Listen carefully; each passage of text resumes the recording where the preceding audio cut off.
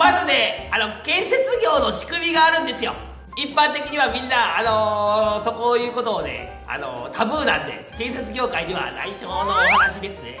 それが利益につながってそれで会社は運営されてるわけですよ。仕事もせずにあの右から左でお金をもらってる方々がたくさんおられるんですよ。そういう人たちは黙っててほしいわけですよ。そういう事情は。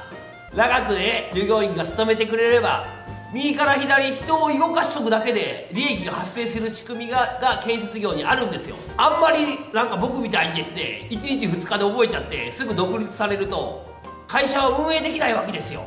なのでできればもう20年でも30年でもその安い賃金というか最低限の払えれる賃金で払う方は上げたくないわけですよ。それで自分はあのビル建てたり会社を大きくしてですねいい暮らし富を得ていくんですけど大体働いてる作業員はすごく安いです。まあ例えば富に関するとですねあの本当にこれは東京でスカイツリーやった方に聞きましたけどあのスカイツリーの一番上の方で仕事してるのに1万8000円しかもらってなかったって言うんですよ。ええー、って言って嘘でしょ！って言って。でも会社ねあの一番払われてる給料はもう4万円とか多分払われてるはずなんですよね。危険手当とかいろいろあるんですよ手当が。そういうのをカットされて言うたら常用ですよね。建設業には請負業と常用業って分かれるんですよ。それはねいずれまああのタイミングがあればお話ししたいなと思うんですけど要するに日給月給って言いますかね。あの日本語では。それで1万8000円ってありえないでしょ。それぐらい中間業者が利益を取ってるわけですいやいやいやいやそれはおかしいだろうと。いうことをずっと言ってると大きい会社からどんどんどんどん干されていきます。僕みたいに特に飛びの見習いなんて1万円ですよ。大阪なんて本当に1万円で求人広告出てます。いくらと1万円なんかで高所作業やめとけ。それだったらスーパーのレジ打ちしとった方がよっぽど儲かるよ。命がけなんですよ。自分もそうですし人も。殺してしまうリスクある仕事が初めてやるにしてもたった1万円ふざけんなと。雇う方も雇う方だし行く方も行く方だよと。行くなそんなところ。それでね僕ね何回も動画でも上げてますけど僕もともとは日雇い労働者ですね。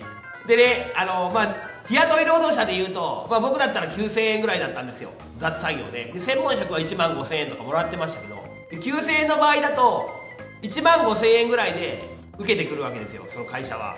でまあ10%なんで1500円ですよね消費税。なので売り上げは1万6500円以上。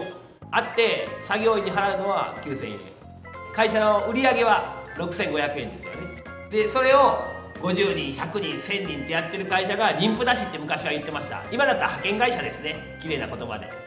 何もしなくても電話1本受けてで電話1本したら作業員が行って仕事教えるとかないんですよ。そういうビジネスですね。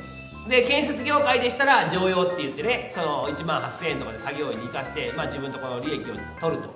そういうスタイルでやっていくんですけど間のブローカーを省いた方が直接ですねやり取りする。まあそこには責任も出てくるんでそういうのが苦手な方は常用で行って気分よく仕事されるのがいい方は気分よく仕事されて僕みたいにですねいやいや直接やりたいんだと。いう方はですねやっぱり探さないとダメなんですよ。直接やらやってくれる人その積み重ねでですね自由僕みたいに自由設計自由何でも自由働く時間も自由でも何でも自由っていうねどんどんどんどん進化していって日当は3万以上請求して、まあ、平均5万ぐらいもらうわけですよ。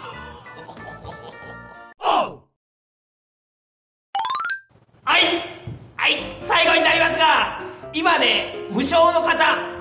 アルバイトしてる人もそうですし、あのー、社員の方でも、えー、常用日給月給の方でもそうなんですけどやっぱりこの期間が長く続く可能性も全然あると思うんですよ。なのでもうね今の段階ですぐ準備して次の作戦を練っていかないと、まあ、僕の経験上やっぱり人は助けてくれないものだと僕は思ってるんでやっぱり自分でやるしかないですよ。なので皆様が楽しい今日を生きることを僕は本当に願ってますんで楽しい人の真似してください。